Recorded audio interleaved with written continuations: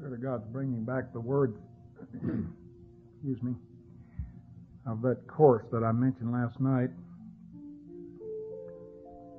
It's not on your course sheet. This particular one isn't. Um,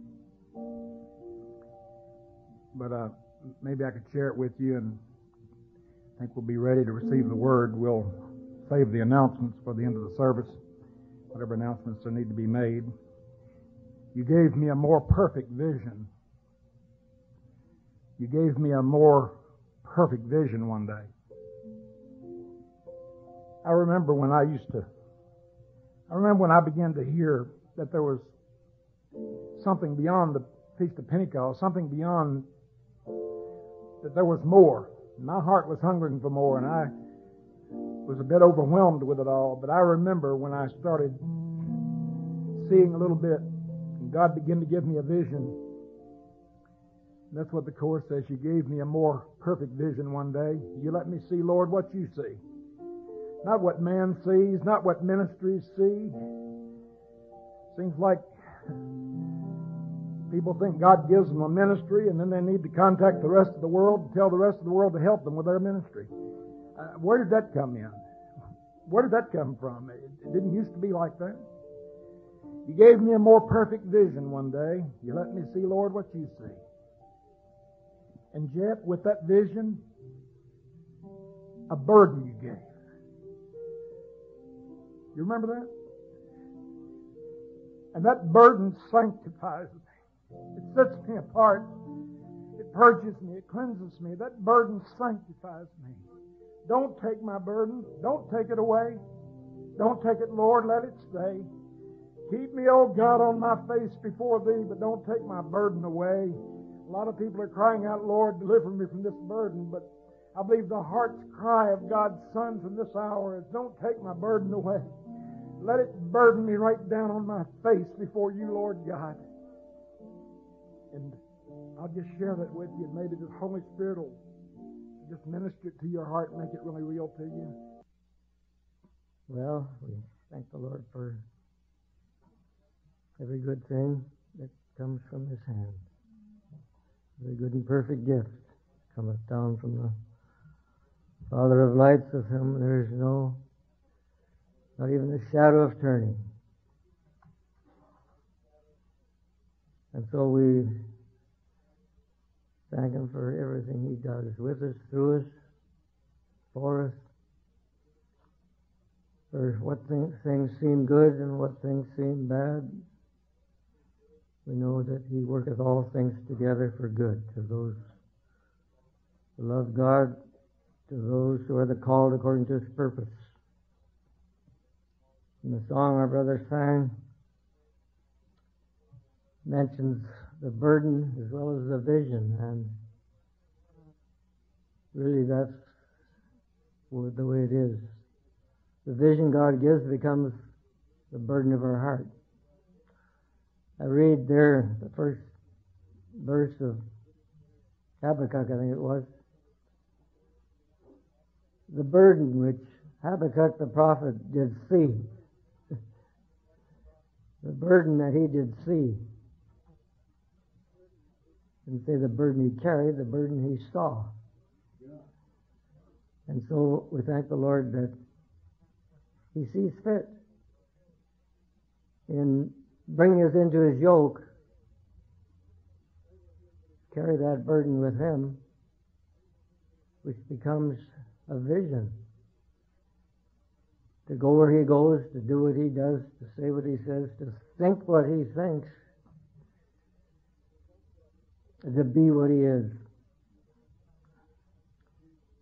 Because we don't think the way God thinks.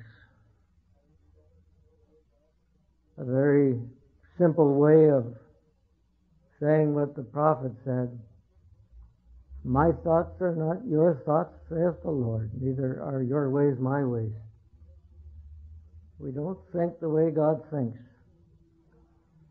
Until we're in His yoke and learn from Him. Take my yoke upon you, He said, and learn of me, or learn from me, I believe, is uh, literally the way it reads.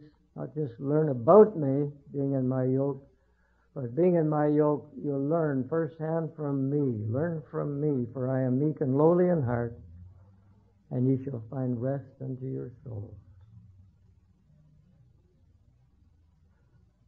Thought I'd maybe read a verse or two from prophet Zechariah.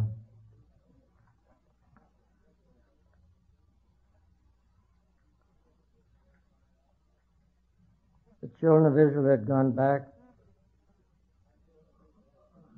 according to the plan and purpose of God after their time of captivity. God raised up a man by the name of Cyrus, and uh, through him, he put in his heart somehow to allow the children of Israel to go back to their land, rebuild the temple. He supported them, sent back some of the vessels that were used in the house of the Lord and so forth. And so time went on, they began to build the temple, but there was a lot of uh,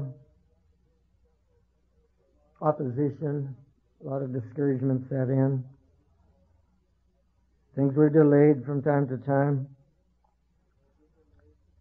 And then it says, uh, uh, God's Spirit uh, uh, sent them two prophets. One, one was Haggai and the other was Zechariah to encourage the builders in the task.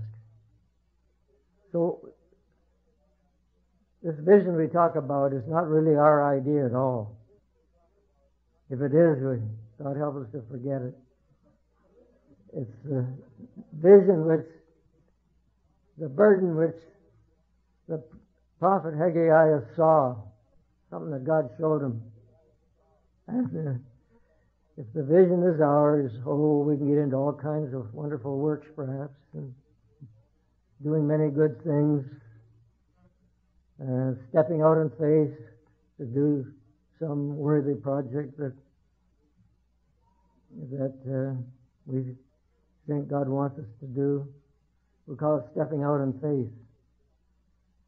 Uh, I'd like to pause there a little because you're stepping out in faith, you're moving according to the direction of God's Spirit. You're not just saying, well, no, I think I'd like to do this and I'm going to do it by faith. I'm going to step out and do it. And so much of that goes on, stepping out by faith and doing something.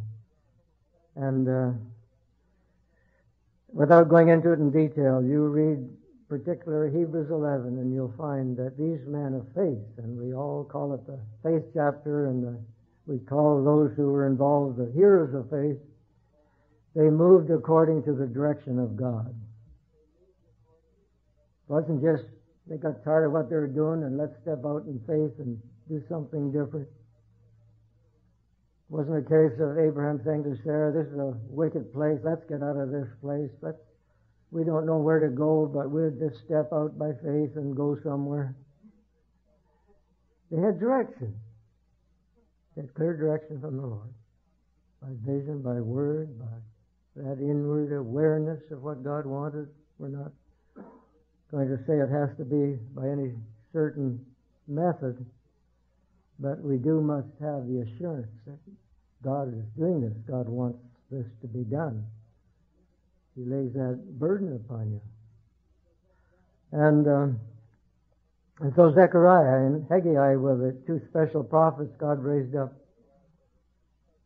at that time of their discouragement to encourage them to move on with the vision that God had given them and in, for the fulfillment of which he had brought them back to Jerusalem. But opposition sets in and they stop the building. And so Haggai says, Take courage, go up to the mountain, take wood, build this house, and I will be glorified, saith the Lord. Goes on to say, You build your own homes, and, and some say, Oh, it's not time to build God's house. Uh, but he says, It's time for you to build your nice homes, and, uh, and but not time for God to build his. And God wants a home.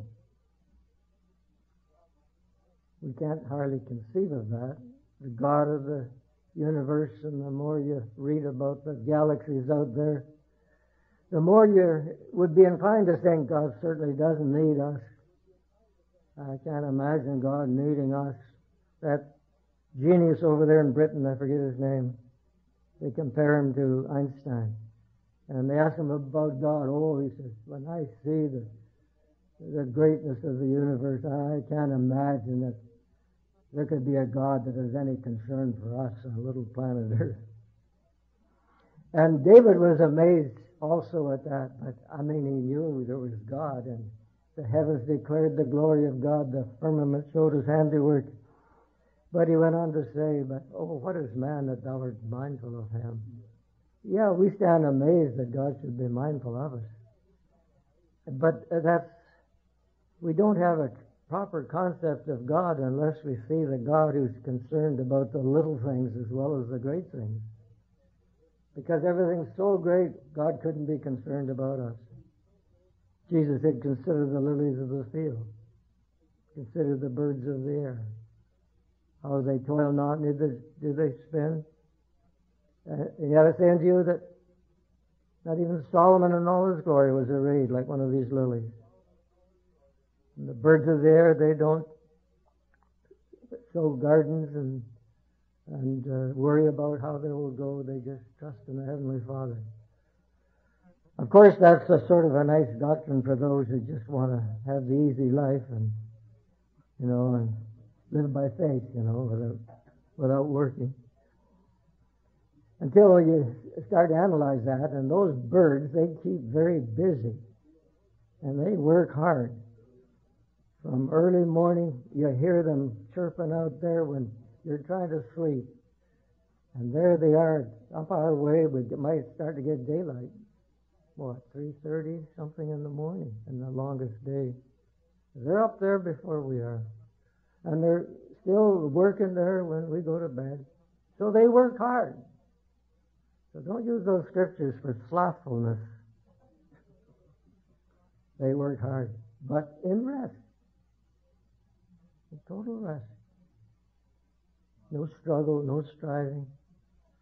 Because God put within them a certain law, certain law that functions. And they just have to move along in the, under the protection, under the guidance of that law. So we, you almost admire them. You almost think they've got something we haven't got.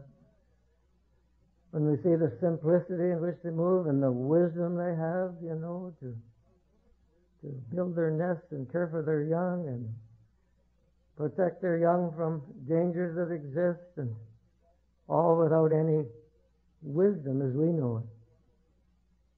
For God has put a law within them that functions according to the law of life. But us, we try to live according to the natural law, but we're fallen far lower than the other creatures. And God wouldn't let them be superior to us, so He put a certain curse on them because of man.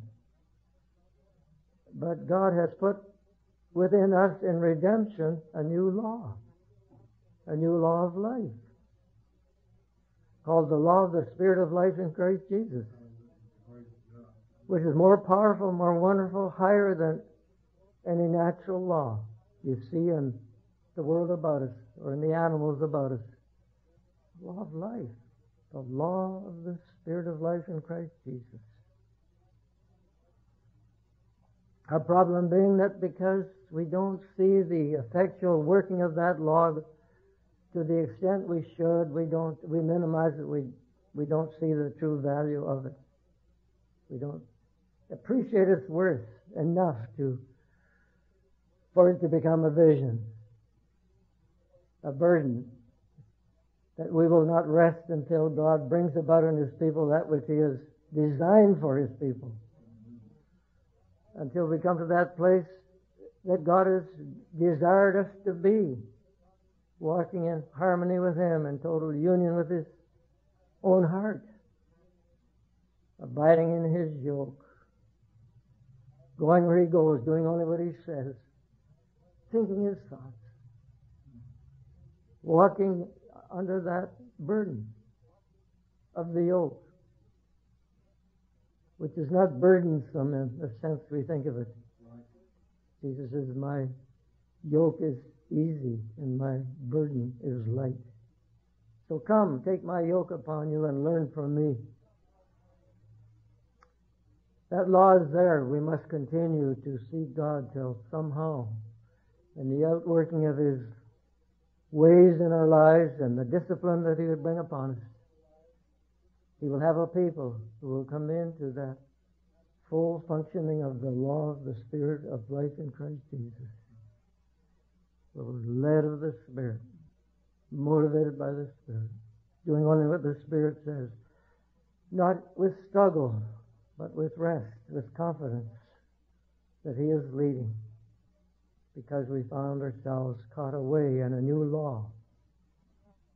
You don't stop to, you know, it's very essential that we breathe every, what, second or so. Very essential. We never stop to even think about it, because there's a law there that makes it happen.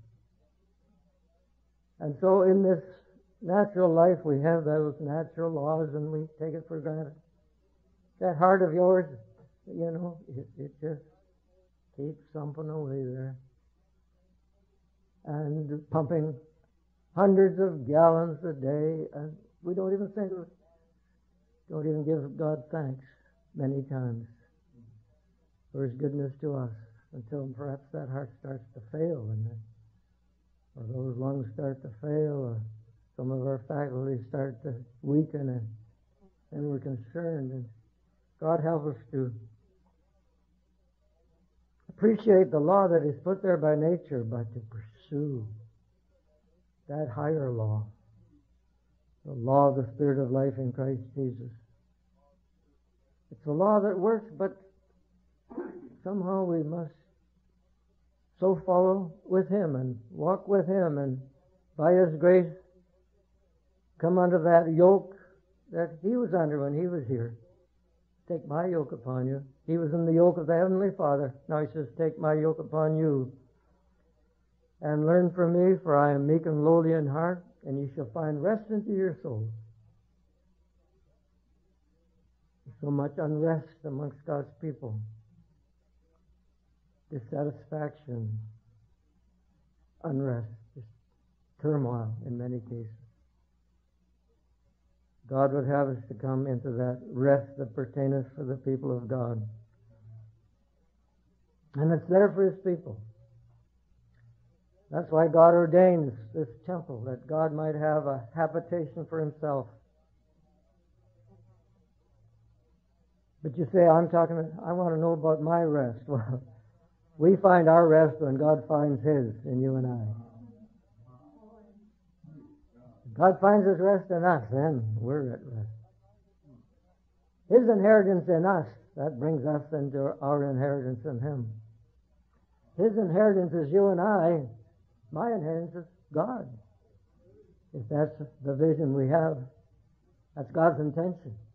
That's why he told Eleazar and Joshua when they started to, divide the land, to give every man his portion in Canaan. Don't give any to the priests. Sounds mean. They were the ones who served in the temple. Don't give them any inheritance, God said. Because I am their inheritance. I am their inheritance. God wants to be our inheritance. How then can I apprehend God? So that's the struggle we go through. And God puts a struggle there. We talked about it. I think we did. I think it is here. Maybe it is in private conversation. Yeah, I think it was. Talking to a brother here. Paul talks about entering into his rest. There remaineth therefore a rest for the people of God, and the word there is, understand, sabbatismos, sabbatismos, from which we get the word Sabbath. There remaineth a, a sabbatismos, a Sabbath for the people of God. For he that has entered into his rest, God's rest, has ceased from his own works as God did from his. In the next verse, let us labor therefore to enter into that rest. But it doesn't signify, I don't believe, a feverish labor from our way of looking at things. I believe some even translated give diligence. But it does involve a spiritual struggle to enter into this rest.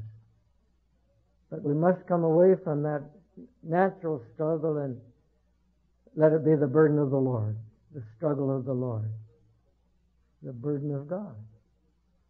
And as we take His burden upon us, then we're finding rest even as we pursue the pathway that leads us into it. There's a rest just knowing that we're in God's will, walking with Him, doing, doing what He wants us to do. Even in that, there's a rest. Because we learn from Him. You say, how could it be said that Jesus' yoke was easy? I wouldn't say it was easy. It was Jesus said, my yoke is easy. Because he only did what the Father wanted him to do. He had no vision, no agenda, no formulation of plans how I and my 12 disciples are going to take over this kingdom. No such agenda. Just do the will of God. Oh, the agenda is the God. We're taking over the kingdoms of this world. One man I remember reading or heard on a tape, or he was going to go to the White House, not as president, but to be an advisor to the next president. Wow, that was eight, ten years ago. I forget which president it was. But I don't think that he became one of the advisors of the president. And uh, I wouldn't want to advise any president or king. But I do believe that God will have a people God has a word for them to give to president or ruler or king or monarch of any dictator of any description. God will say, go and tell them this. I believe God will do that. It might not always be the nicest thing to do. It might, he might be putting his head in jeopardy when he does it, but he's got to do it. And there is a kingdom for the saints of God, but it's a kingdom that functions out of our union with him and be ruling and reigning with Christ Jesus. And God told him, rule in the midst of your enemies. You're thinking, I'm ruling and reigning. I'm going to deal with all the evil in the earth. You would, and Jesus will too, but he's been 2,000 years doing it now, and he isn't finished yet. Because God says, rule thou in the midst of your enemies. Oh, if he's ruling, come back here, Lord, and deal with your enemies. He went away to deal with his enemies. Because his enemies are not earthly, they're heavenly. So God, when He raised them from the dead, caused them to ascend far above all principality and power and might and dominion, every name that is named, that He might have lordship over all created things. No use of being the President of the United States or the, or the President of China, whatever they call them. You could take over that presidency, but what about those principalities and powers up there? Unless you have rulership over them, you won't change anything in this nation or anywhere else. By putting in the right man in the White House or some other country, putting them on the throne, you're not changing anything. But you can change anything God wants you to change by coming into direct contact with the King of all kings and Lord of all lords. We fail to realize that. Try and maneuver things to get things right here. You can go straight to the King of kings and the Lord of lords. But that doesn't mean he's going to do it, go the way you want him to go. Go into his presence to inquire of him. God, I want, I want you to Oh, I don't know what. Eradicate all this evil in the United States. Well, how are you going to do it? Well, use the power of the nation to do it. But with the power of Christ resting upon us, we can do anything He wants us to do. Anything He wants us to do, see? Yeah, but you know, if we just had this power, we'd go out and we'd dethrone kings and kingdoms and set up righteous government. Don't you believe that Jesus, the Son of God, conquered over all things and is now King of kings and Lord of lords and has all things under his feet? But that he rules according to the decree of God to rule in the midst of his enemies until they are subdued. Thou art priest forever after the order of Melchizedek. Rule thou in the midst of thine enemies. Goes on to say, Thy people shall be willing in the day of thy power. It's coming a day of power when he's going to fully deal with all the iniquity in the world. In the meantime, God says, rule in the midst of it. According to the purpose of God, he's been ruling and reigning these 2,000 years, doing many, many tremendous things keeping his church alive, allowing it to go down to death's door many times where it seems it's almost extinct in the earth. God comes on the scene and laughs at his enemies, sends forth his word, and brings forth a great moving of God in the land.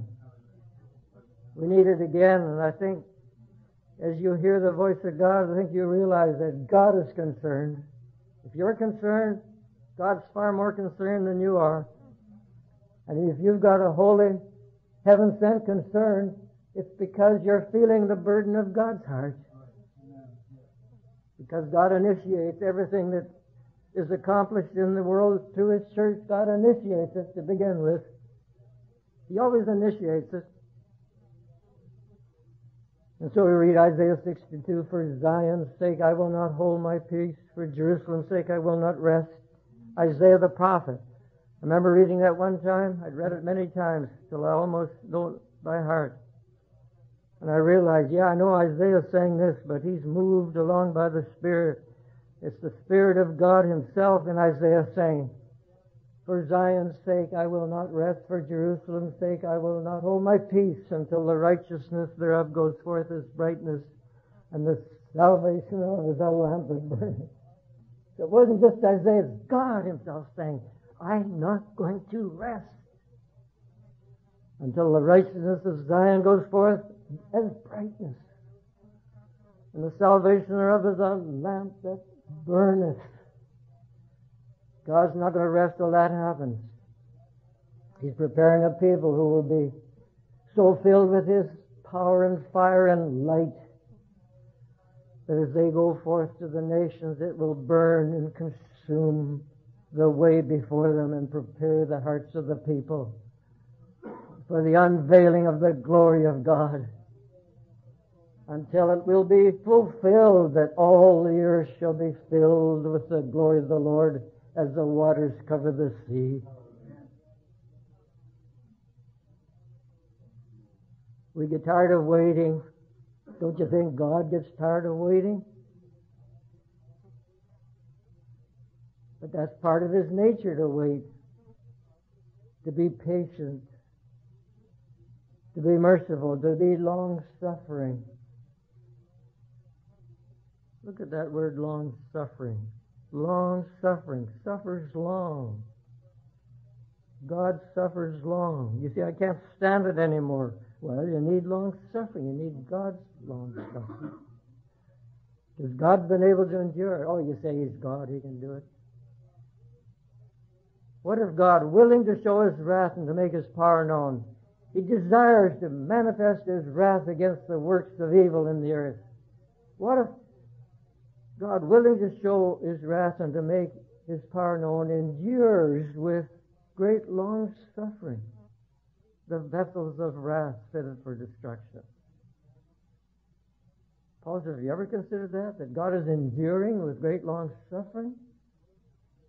These vessels of wrath that are being prepared for judgment, God's enduring it.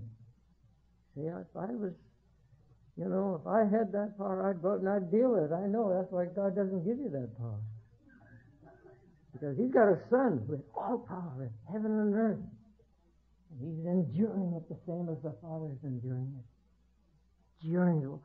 You could deal with it, can't you, God? Yeah, I know, but while he's enduring with much long suffering the vessels of wrath, he's preparing vessels of mercy. God needs vessels of mercy for this old world. And while he's enduring the vessels of wrath who are persecuting and harassing the people of God, he's preparing them to be vessels of mercy. Vessels of mercy. Whom he hath afore prepared unto glory. So there's two sides of God's patience and long suffering and allowing God's people to go through trial and tribulation and difficulties of many kinds. As God is long suffering and patiently causing you to endure these things, His is pained with your pain.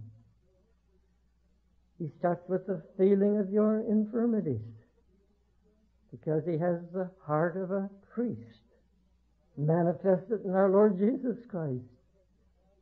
A priest must have compassion on the ignorant and in those on those who are out of the way because he himself also is compassed with infirmity. Or you say, God can't be compassed with I know, that's why he became a man, that he could be. That's why he came down into this realm where he could become a man and as a man a priest.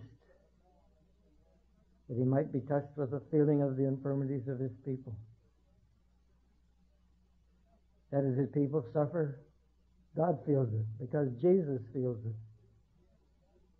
And if Jesus feels it, God feels it. Because they are one. God feels the suffering. Don't you think that God didn't feel? God felt every spike, every nail that it pounded into the hands and the feet of Jesus. God felt it. Because the Father was there and the Spirit was there overshadowing that sacrifice, as we mentioned last night, with the blood of bulls and goats and the ashes of a heifer. Sprinkling those that are defiled sanctifies them to, unto the cleanness of the flesh. How much more shall the blood of Christ, who through the eternal Spirit offered himself without blemish unto God, purge your conscience from dead works to serve the living God. To the eternal Spirit, this precious blood was overshadowed, this sacrifice was offered there because of the presence of the eternal Spirit, overshadowing that sacrifice, making it to be acceptable in the sight of God. God's concerned about his people. He, he says he will not rest until the righteousness of Zion goes forth as brightness and the salvation as a lamp that burns. He won't rest till that happens. To make sure he won't rest, he puts that restlessness on a people who will cry unto him, God, we're not going to give you any rest. Well, God said he wouldn't, but he puts that burden on his people. He calls them watchmen. Oh, you say, I thought a watchman was one who goes out and warns the sinner to repent. Yeah, I know. He has watchmen to do that too. But I never realized that there was any other kind of watchman. He says, I've set watchmen on your walls, O Jerusalem, who will never hold their peace day or night. Ye that make mention of the name of the Lord, keep not silence and give God no rest. Until you establish, until you make Jerusalem the praise of the earth. Well, God already said he wasn't going to rest, but then why does he set up watchmen to say, now God, I'm not going to give you rest till this happens? In the wisdom of God, he's always desired to bring men and women into his own holy counsel. Not to counsel him, but to share in his counsel, to partake of his counsel and wisdom. It's part of God's desire, the very fact He made Adam was to have a man who would represent Him in the earth, one with whom He could have fellowship and communion and share His own heart. For He shared His very likeness when He created Him. He shared His likeness. We don't quite understand it, but made us in His image and likeness. That we might be the shining forth of His glory. The shining forth of His glory. What God is God's intention is that men would know who God is and what He's like by looking at His people who are made in His image. So we spend our time and energies trying to get the world to believe that there's a God up there in heaven. That there's a Jesus who died for them, and that there's a Jesus who is the light of the world. When God is making that light, He wants that light in His people. He wants Zion to be that light. He wants Zion to shine forth its brightness, and the salvation of Zion to be like a burning lamp. God has put all He has into redemption, that the fruits of redemption might be such in a people that they will shine forth the glory and the presence of God in the world about us. There'll be no problem preaching the gospel of the kingdom to all nations in one week's time or one month's time or however long God, God might see fit. It'll be as easy as can be when God has a people radiating the love and truth and brightness and glory of God in the earth. We go with our feeble lamps or with lamps that are almost extinguished, with lamps sometimes that seem to send forth shades of night rather than shades of light. As Milton says in one of his poems, no light but rather darkness visible. No, no light but darkness was visible. And often that's the way it is. And God wants that light to be in His people to be so intense. He says that there be no part dark. No part dark. Oh, you say, what's the use? We know these things. I'm just trusting that somehow, whatever days I have left, that God will send forth a word that will be an impartation into the lives of His people. Because the new covenant is impartation. It's not just telling people what God wants. It's an impartation of what God wants. It's a ministration. Paul calls it a ministration of life, a ministration of righteousness. It says also Epistle to the Hebrews, the new covenant is this I will write my laws in their hearts, and on their minds will I write them. He doesn't say this letter I'm writing is a part of the new covenant. We know it is, it's, but it's the letter. The new covenant is when God writes it on your heart. We thank Him for writing it here, and let's read it much, but as we read it, desire and seek and pray God will take that word that is written there and write it inside, because that's only the new covenant when it's written inside. This is the covenant that I will make with them after those days. Says the Lord, I will write my laws in their hearts and in their minds will I write them. And I will be their God and they shall be my people. And they will not teach every man his brother and fellow citizens, saying, Know the Lord, for all shall know me, from the least to the greatest of them. And I will remember their sins and their iniquities no more. It's a new covenant. But there's many, many people in the church who will not believe the new covenant until God begins to manifest it. You can't believe it because it's written. If it's, we don't see it, we won't believe it. God wants us to see it, that it, before we believe it, that it might come into being. That that which is declared might come to pass by our believing it. For we're saved by hope. By faith, I know, but hope gives expectation of the thing we're hoping for. Please stop the machine and turn the cassette over. Until God begins to manifest it. You can't believe it because it's written. If it's, we don't see it, we won't believe it. God wants us to see it that it, before we believe it, that it might come into being. That that which is declared might come to pass by our believing it. For we're saved by hope. By faith, I know, but hope gives expectation of the thing we're hoping for. Not a vain hope. Bible hope is not something inferior to faith, it's greater. Now, about a faith, hope, charity. Because hope goes on from faith to anticipate what God said. Anticipates what He said. It looks forward to the fulfillment of it so that the earnest expectation of the creation is waiting for the manifestation, the unveiling of the sons of God when they shall go forth with the unveiled glory of God upon them. Creation's waiting for that. They don't know it. Not a vain hope. Bible hope is not something inferior to faith, it's greater. Now, about a faith, hope, charity.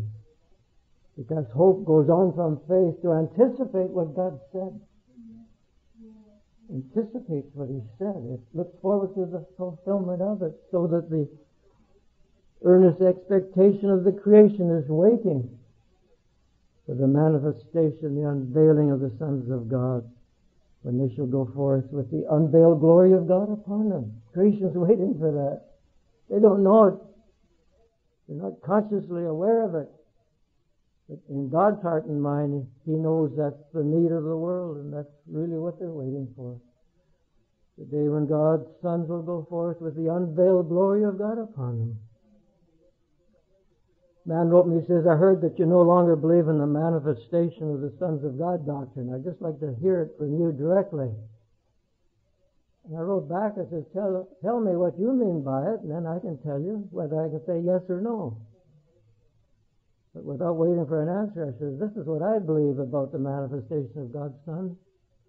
He's going to have a people in the earth walking in the same meekness and humility and love and patience of the Lord Jesus Christ. They're not going to love their lives even unto death.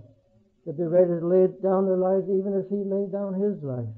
They will be followers of Him. They'll be like Him.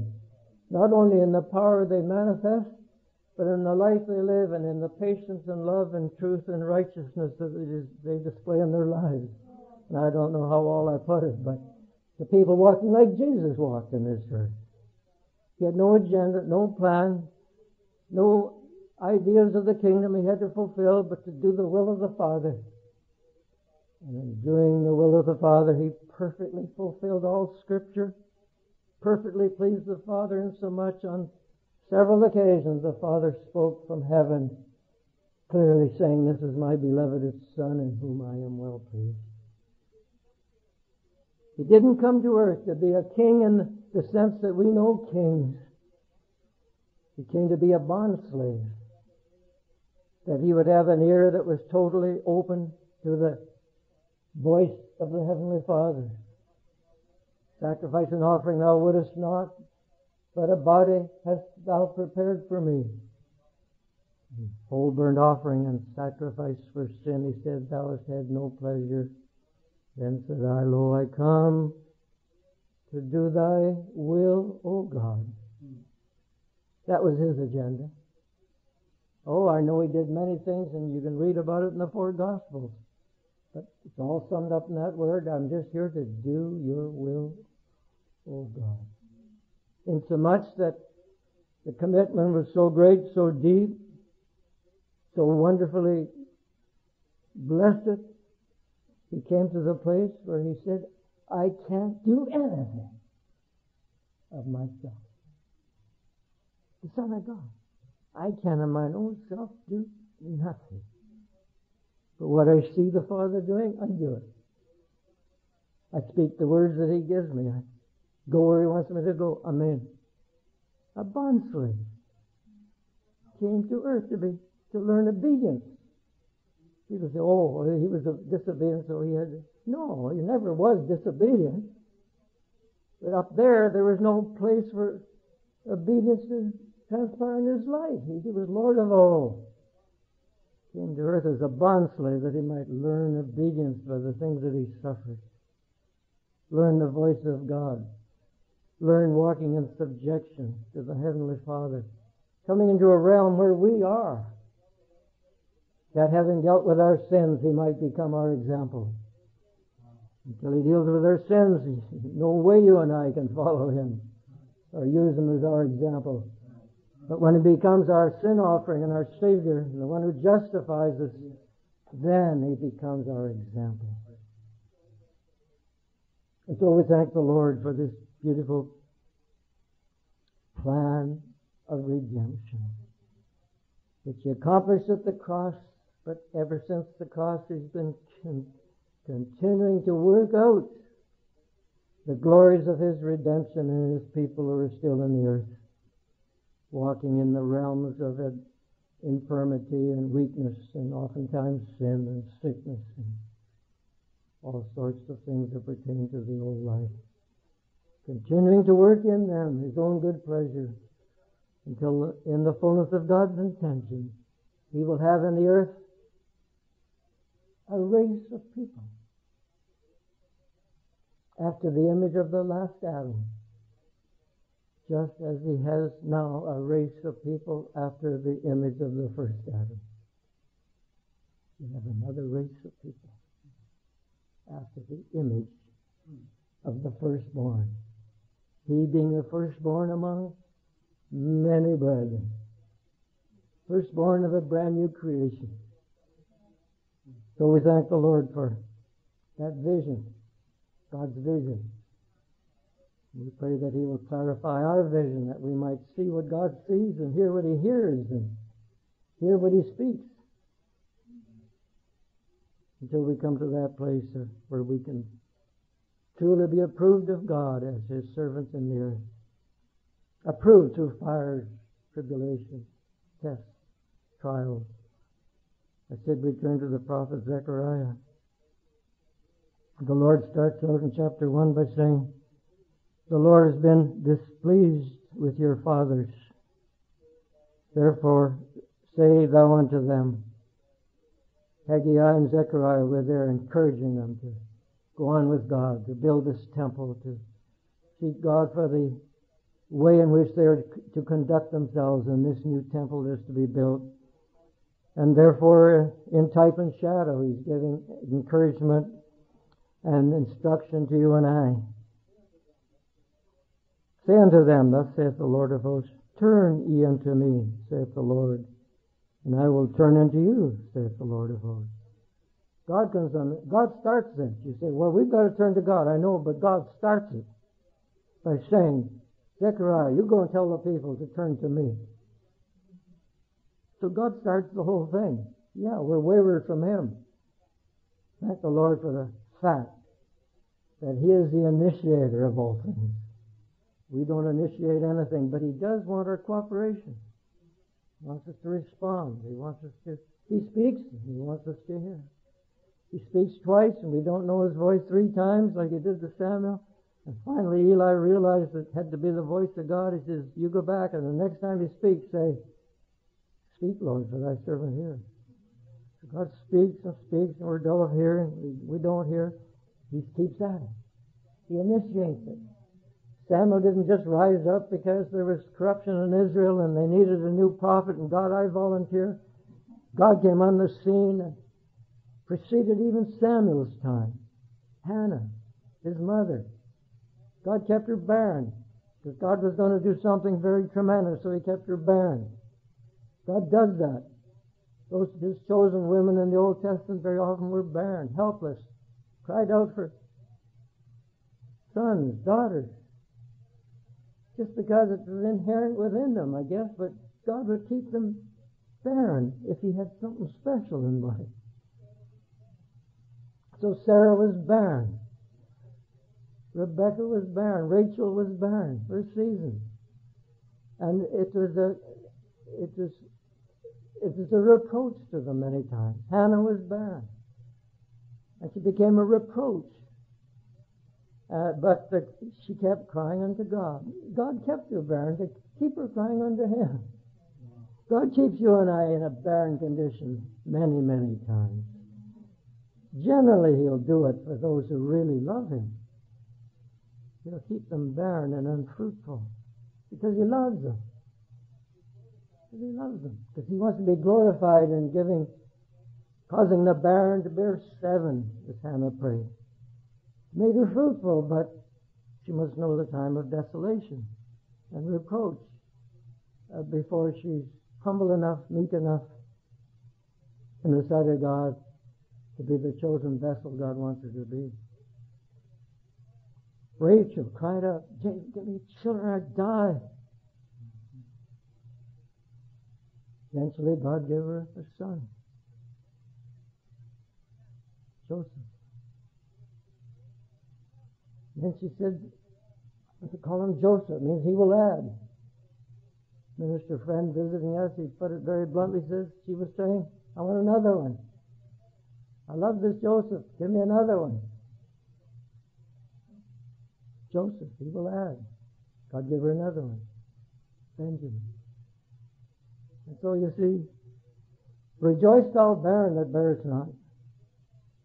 Rejoice, the prophet said, for the children of the desolate shall be more than the children of the married wife, saith the Lord.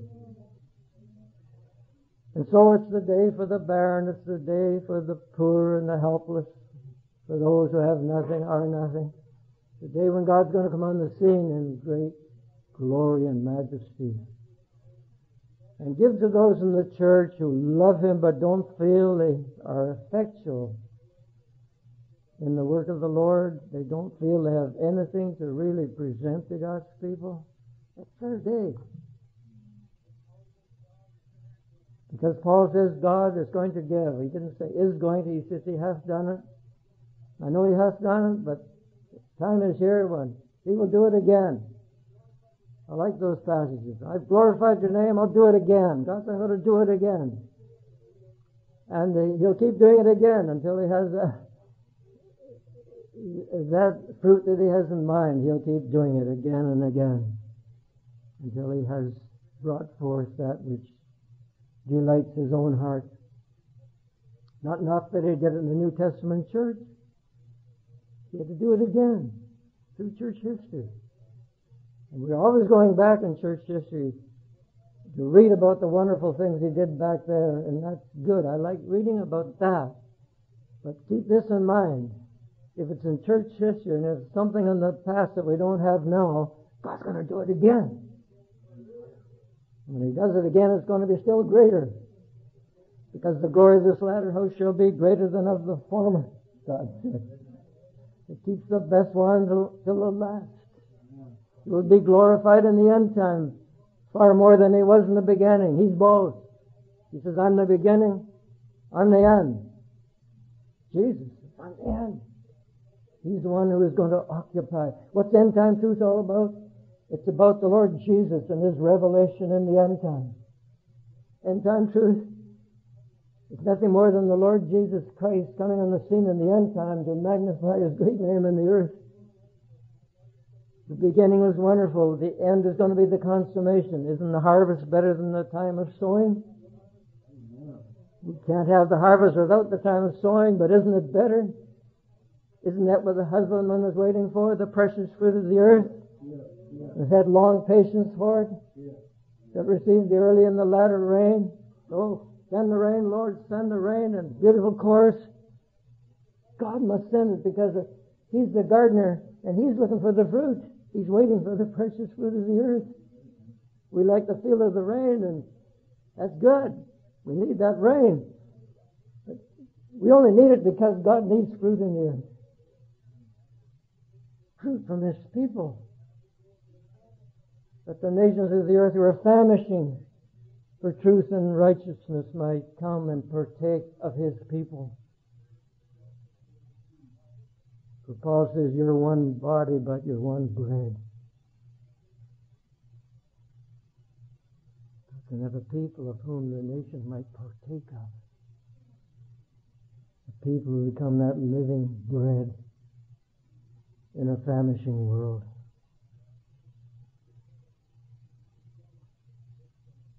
I am jealous for Jerusalem and for Zion with a great jealousy. God is saying, I'm jealous over Jerusalem. I'm jealous over my people. Paul said, writing to the Corinthians, I'm jealous over you, Corinthians, with a godly jealousy. For I have espoused you to as a chaste virgin unto her husband that I might present you as a chaste virgin unto Christ. He says, I've espoused you. I've, I've so ministered Christ among you that you might become a chaste virgin unto Christ. I've heard of the phrase, the husband ministry. Apostles, prophets, evangelists, pastors, teachers. It's, it's wrong. It's the wrong terminology. Not a husband ministry, it's a servant ministry. And when the, this servant went to find a bride for Isaac, he had to be a trusted servant. One of his older servants, one whom he trusted. He must have trusted him tremendously. Go down there and pick out a bride for Isaac and bring her back for Isaac.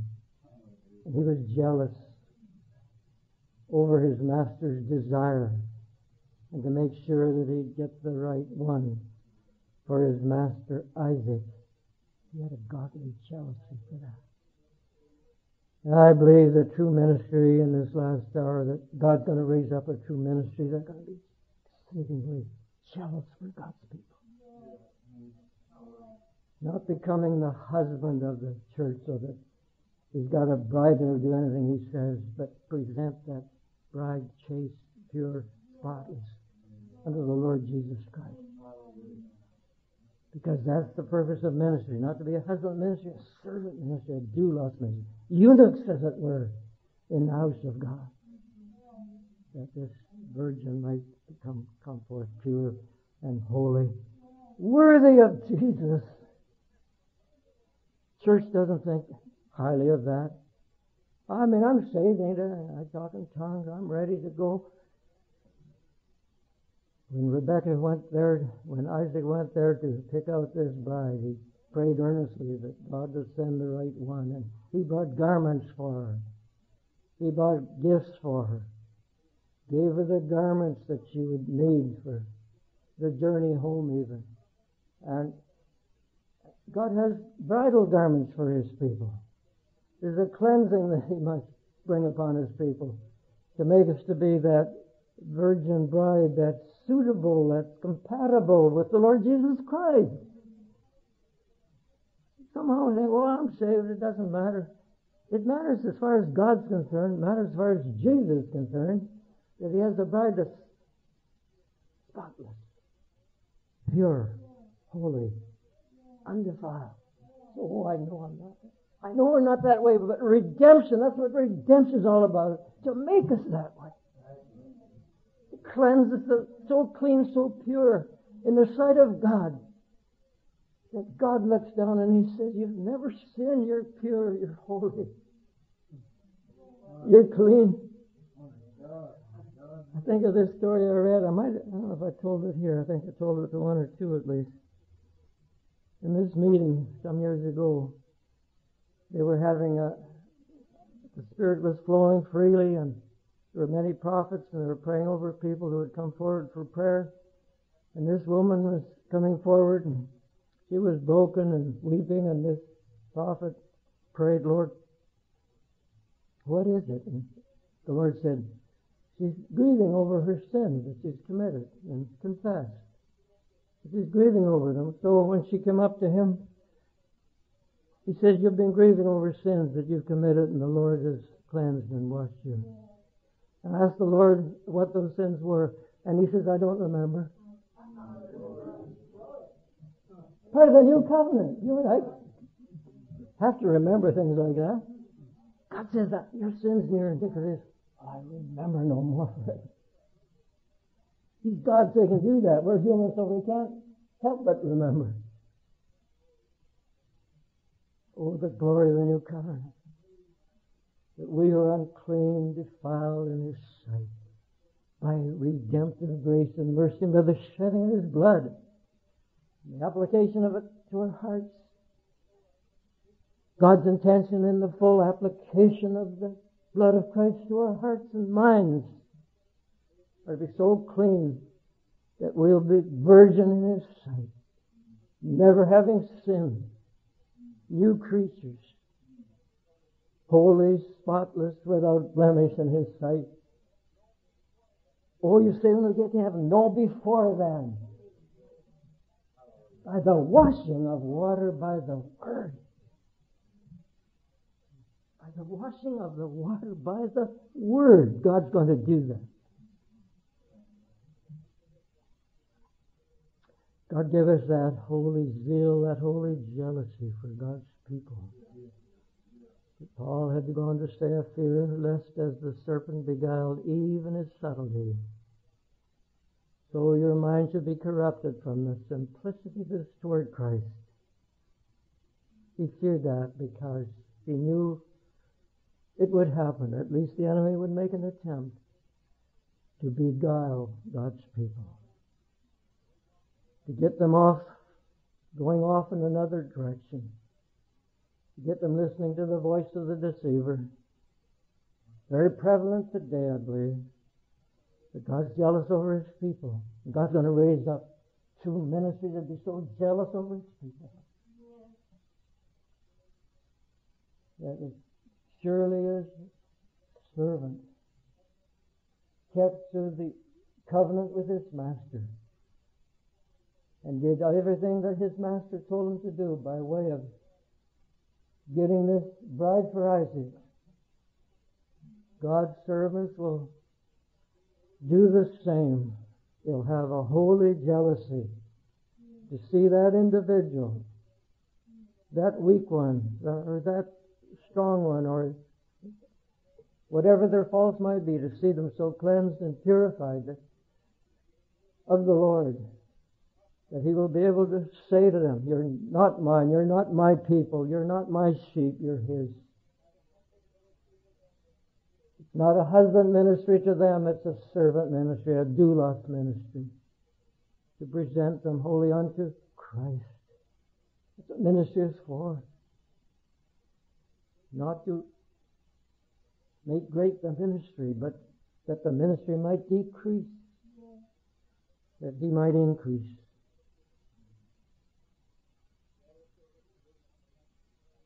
jealous over Jerusalem and for Zion with a great jealousy.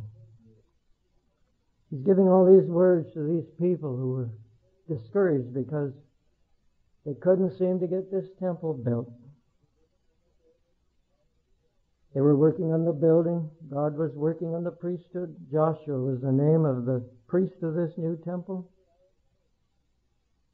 And Zechariah showed Zechariah in vision this man Joshua the priest, who, according to the rituals outlined in the book of Exodus, must be clothed upon with holy garments, have a holy mitre upon his head, beautiful white robe. He'd have the breastplate in which was held Urim and Thummim. They'd lost that somehow. It was no longer functioning, and we don't read about Urim and Thummim anywhere in this chapter or in the other prophets that are yet to, that has spoken after Samuel. I don't think we read of Urim and Thummim. And it bothered them that they didn't have all the instruments that they had in the first temple. Not realizing that instead of having Urim and Thummim in the pocket of the priest, that somehow gave forth a clear word and clear direction. God was beginning to put that Urim and Thummim in his prophets. So that that Urim and Thummim was there in the heart of Samuel. Not that he knew everything, but he knew everything God wanted him to know about any situation. He Was able to give clear direction and clear guidance to the people of God. God's going to restore that Urim and Thummim. I know we've got prophets, some genuine prophets, and I'm not denying that. But I believe we're yet to see such a purification of the prophetic ministry. All ministry, but still there's literally a prophetic people in the church. A prophetic people. In other words, the Lord Jesus is so present in their midst that in a sense, they're all prophets because the spirit of prophecy is there. And John saw, said in the book of Revelation, or the angel said to him, But the testimony of Jesus is the spirit of prophecy. the witness of Jesus. That clear witness of Jesus must yet come into the midst of God's people, which is the spirit of prophecy, which is higher than just having a prophet here and there. To have that order in God's people, where they're so in tune with God and so illuminated with His light, that that witness, that testimony of Jesus is there in the congregation, which is the spirit of prophecy. And so Joshua would have had all these beautiful garments on, on him as he prepared himself to minister in the temple, but that's not the way Zechariah saw him. He showed me Joshua the high priest standing before the angel of the Lord and Satan standing in his right hand to resist him. Perhaps Joshua didn't know, but he'd feel those accusations, no doubt. I don't feel worthy to be God's priest. I feel unclean. I don't, I don't feel clean enough to minister in God's house. No doubt he had many of those accusations that we have from time to time, not realizing that he was feeling that because Satan was standing there to accuse him. For he's called the accuser of the brethren. And uh, the Lord said unto Satan, The Lord rebuked thee, O Satan. Even the Lord that hath chosen Jerusalem rebuked thee. Is not this a brand plucked out of the fire? The Lord rebuked you. This is a brand plucked out of the fire. I know. Should have been burnt. He was just a burning brand. I plucked him out. The Lord rebuke you. We have a high priest on the throne and he's plucked us out.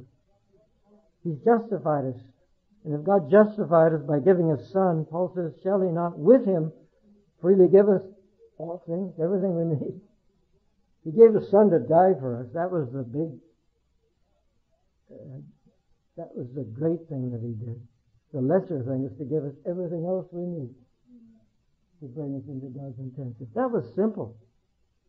I mean, the hard thing was to, for Jesus to go to the cross and die. But God did that.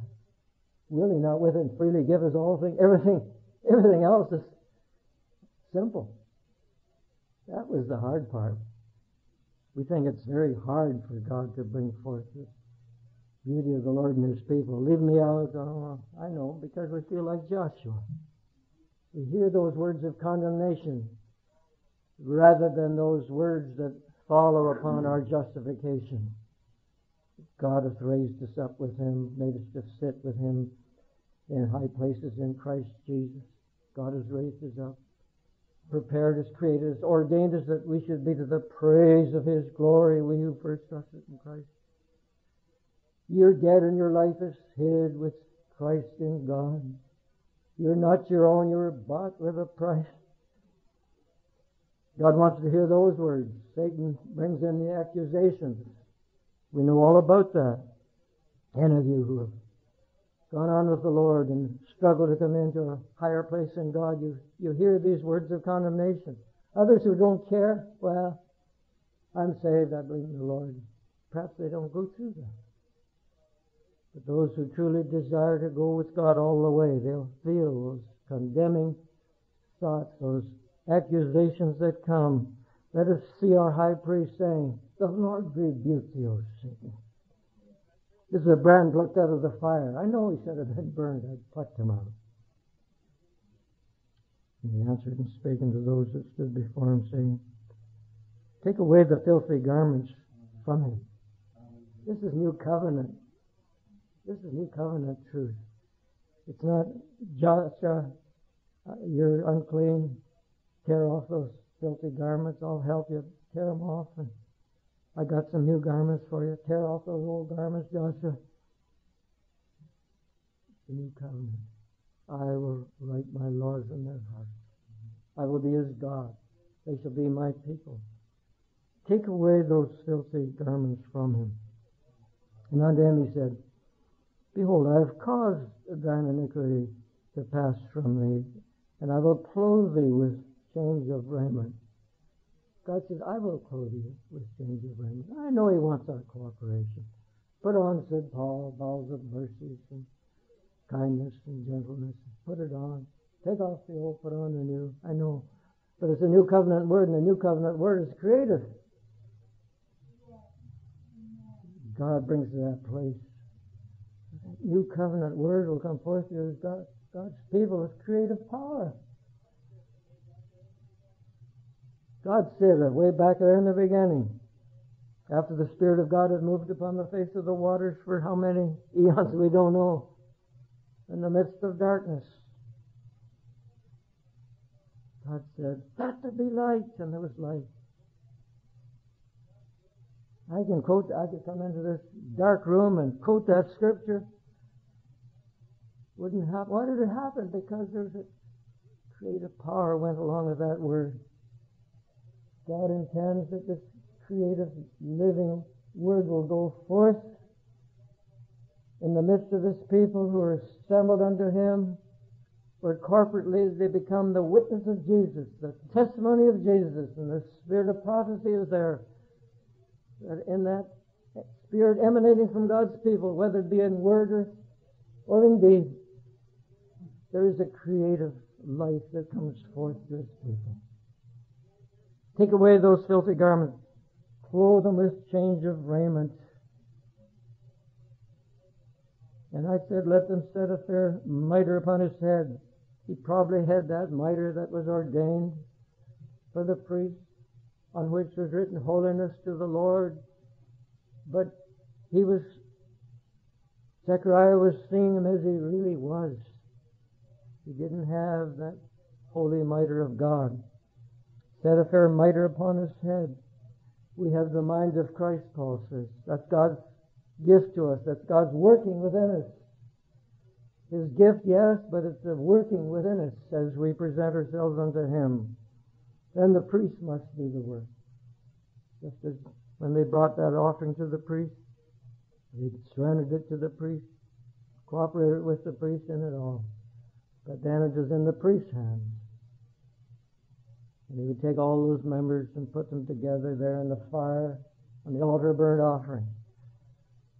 And so all, our altar burnt offering is something like that, where God says, present, present yourselves unto Him.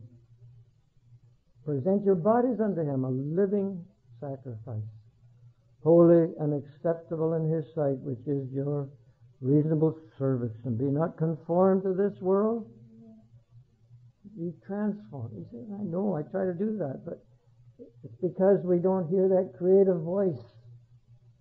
I believe that time is coming when one will stand under the anointing of God's Spirit and say, Be transformed by the renewing of your mind. And there'll be a living word that will cause to happen what God says. For in the new covenant, what God says, it happens when God the Creator is speaking it, and He wants us to be in such union with Him that we'll be speaking out from the heart of God, and it happened. That there be light. God said it, and so it happened. The same God is the God of the new covenant.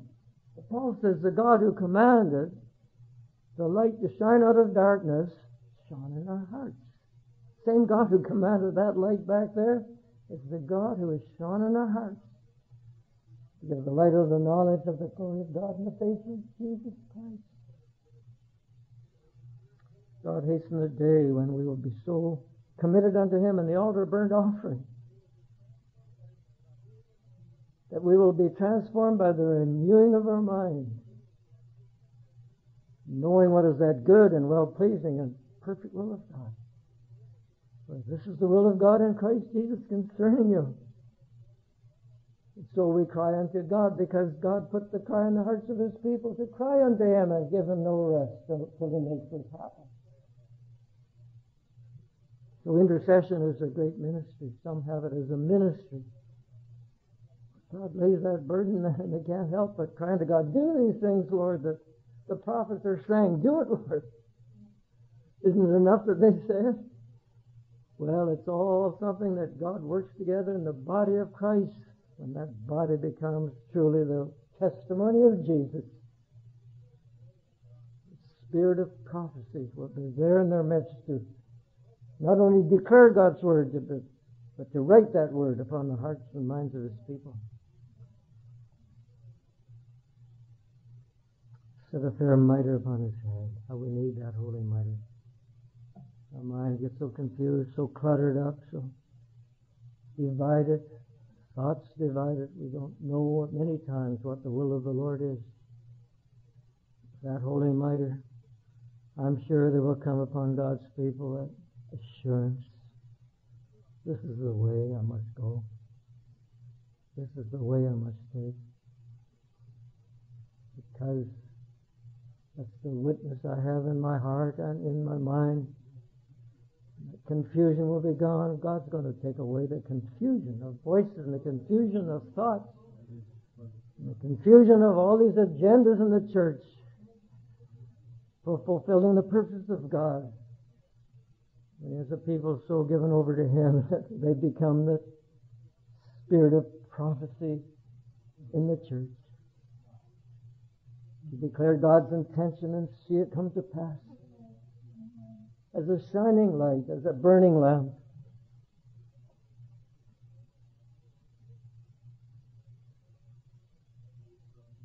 And the angel of the Lord protested unto Joshua, saying, Thus saith the Lord of hosts, if thou wilt walk in my ways, thou wilt keep my charge, and thou shalt also judge my house, which Judge doesn't mean condemn, really. It could bring that. Judgment in the scriptures is minister justice, minister righteousness. You'll judge my house with truth and righteousness, and shall also keep my courts. And I will give thee places to walk among these that stand by. Hear now, Joshua the high priest, thou and thy fellows that sit before thee. For their men wondered at. For behold, I will bring forth my servant, the branch. There's a whole new subject there about the branch. The branch that the Lord will raise up out of the sprout of David. Our Lord Jesus Christ, but our Lord Jesus Christ, who has many branches, yet one vine. And we, as members of that vine, as branches in that vine, are vitally one with Him. Totally incapable of doing anything except as we are in union with the vine. Beautiful truth. Simple, very simple. I'm the vine, you're the branches. Abide in me and I in you, as the branch cannot bring forth fruit, except it abide in the vine, no more can ye. Abide in me and I in you so shall ye bring forth much fruit. Goes on to say, if you ask anything in my name, I will do it. So we grasp that, and we're going to work on that, because there's so many things we need. Read what precedes it. God help us to abide in you. Bring us so discipline us, Lord, by your Spirit, by your truth, by your word, by your guidance upon our lives we'll come to that place, Lord, that we we hear your voice above every other voice. In the midst of the confusion that abounds, Lord, we, we hear that clear word of the Lord. Samuel, Samuel, give us that grace, Lord, not just to repeat the words, but from our hearts to say, Speak, Lord, for thy servant here. Bless your people, Lord, here this morning. Open their hearts, minds, souls. Cause them to lay it all down, Lord, all on the altar. That you might smell that sweet smelling savor of a burnt sacrifice. And that we might have the assurance I've done that which is pleasing in His sight.